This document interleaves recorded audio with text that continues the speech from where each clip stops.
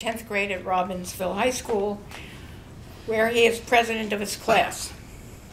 He runs cross country in the fall and track in the spring. He belongs to the Robotics Club, whose members build a robot for a specific competition. This year, the robot throws frisbees into a goal. Austin has two sisters, Brittany, a junior at University of Pennsylvania, studying neuroscience, and Taylor, who is a freshman at Rutgers studying biology. And Austin likes to remind me that his favorite food is his mother's macaroni and cheese. And I'm waiting for the recipe. I've been waiting for several years. Okay.